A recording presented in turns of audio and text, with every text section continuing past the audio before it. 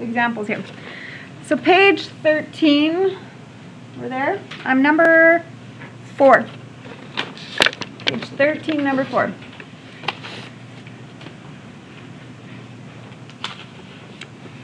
There are 13 terms in this expansion, so determine the, the value of n. So here's a question. If there's 13 terms, what was the exponent? What exponent would end up producing 13 terms?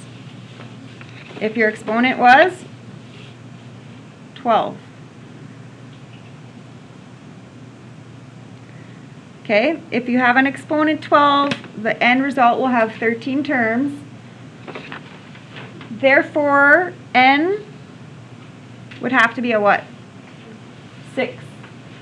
So that's all that was asking for. Okay? Whatever your exponent is, you end up with one more in the terms.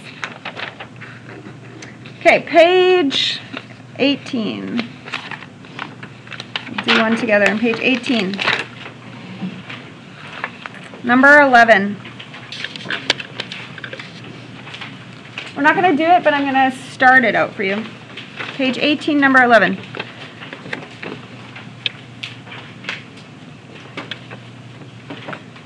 Okay, it says to find the middle term.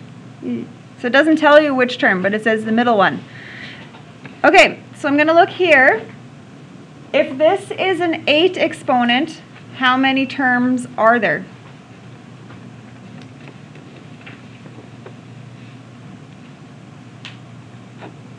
So if there's an 8 exponent, there's 9 terms. So which one of those would be in the middle?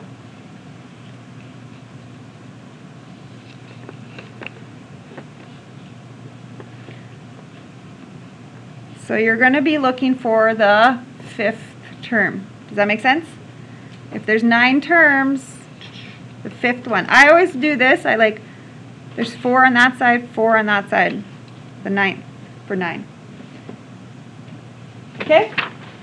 I'm not going to do that, so now you know you're just finding the fifth term. Page 19, we'll do this one though.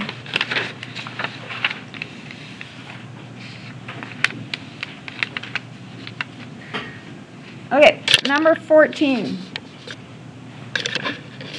In this binomial expansion, the fifth term contains an x to the seventh. Find n. Okay, so this is the when you're just getting the x stuff.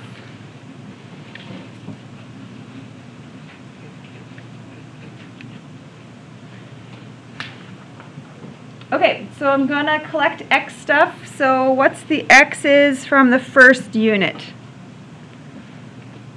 x to the negative 3 was the first unit.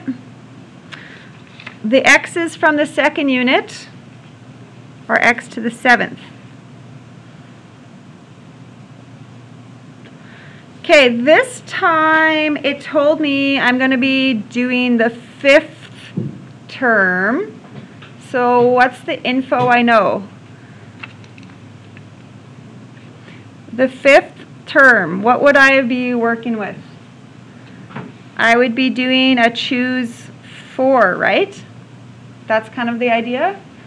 So therefore, that exponent is 4.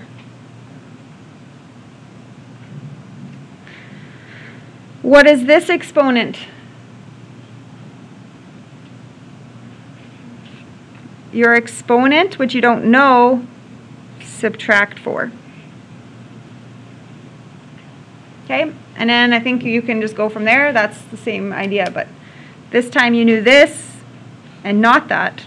My example I gave you, I knew that, but not that.